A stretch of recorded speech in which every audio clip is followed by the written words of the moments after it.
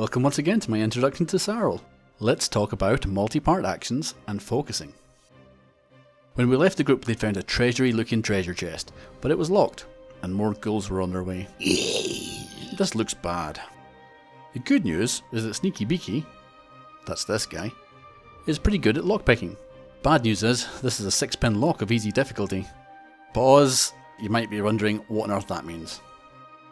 Well, most locks have a number of pins, so to pick them, those pins need to be pushed up into the correct position and held in place. This lock has 6 of those pins, but each of those pins is relatively easy to access and move to the correct place. So in game terms, Sneaky Beaky is going to have to roll a 4 a total of 6 times in order to unlock this chest. That will take him a minimum of 2 moments to complete. But the chances of rolling that, well, they're less than 1 in 50. So let's just see how this pans out. The moment begins. Four ghouls try to enter the room, but Beaky Boss and Beaky Bob move to block the doorway. Beaky Boss starts shooting, of course, and Sneaky Beaky rushes to unlock the chest. Sneaky Beaky has a skill of 3 in lockpicking, so he rolls 3 dice. Bad luck. None of them are 4 or above, so he makes no progress. Meanwhile, the fighting continues. One ghoul was killed, but in the next moment, another three will join the fight. At least the choke point held. The second moment begins. Amid the furious fighting, Sneaky Beaky decides to slow down and focus. He has a skill of 3, but this time he only rolls 2 dice. He holds the third dice back. This adds a plus 1 to all of the other dice he rolls, so now he only needs to roll a 3. Bingo, 2 pins down. Focusing can be done in any action.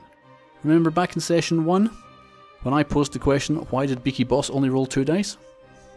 He was focusing for a better chance to hit and do more damage. Sneaky Beaky quickly looks over his shoulder. Another two ghouls are down. But two others have managed to get close to Beaky Boss, and in the next moment another four ghouls are going to be able to fight. Oh dear. The third moment begins. Sneaky Beaky doesn't want to risk failure. He holds two dice back this time, so now he just needs to roll a two or more. And he does. Three pins down. The fight is going badly though. Two more ghouls went down, but the choke point is broken, and Beaky Bo is out of arrows. Another three ghouls are going to join the fight in the next moment as well. The fourth moment begins. It's now or never. Sneaky Beaky rolls three dice this time, and sometimes you get lucky. All the dice are four and above, and the last three pins click into place. The treasure box pops open. This is it! The item they were looking for. He squawks his success. Ghouls are flooding into the room now. The Beaky Boys are tired and can't fight much longer. But they don't have to. Beaky Boss calls the retreat. Sneaky Beaky snatches up the strange orb, and the Beaky Boys make a run for it. Quest complete. Humph.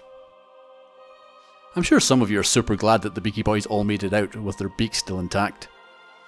Others of you might be wondering about the many, many things that I didn't explicitly cover in these tutorials, such as what about getting tired? What about spells, grappling, diseases, and movement? Well, tiredness is caused by stamina being drained slowly through exertion, normally one per moment. Spells are normally multi-part actions, just like lockpicking.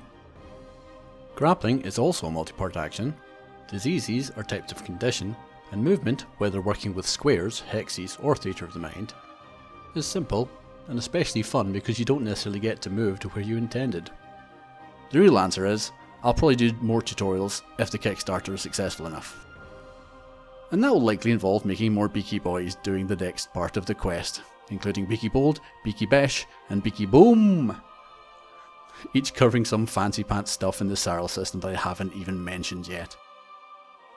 I really hope you're excited as I am. I'll put a link in the description once it becomes appropriate. But until then, bye for now.